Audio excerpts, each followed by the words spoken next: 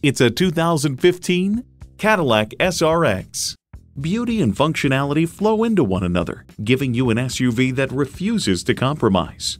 Features include V6 engine, gas pressurized shocks, external memory control, Wi-Fi hotspot, front heated leather bucket seats, auto dimming rear view mirror, voice activation, memory exterior door mirror settings, dual zone climate control, front and rear parking sensors, and refrigerated box located in the glove box.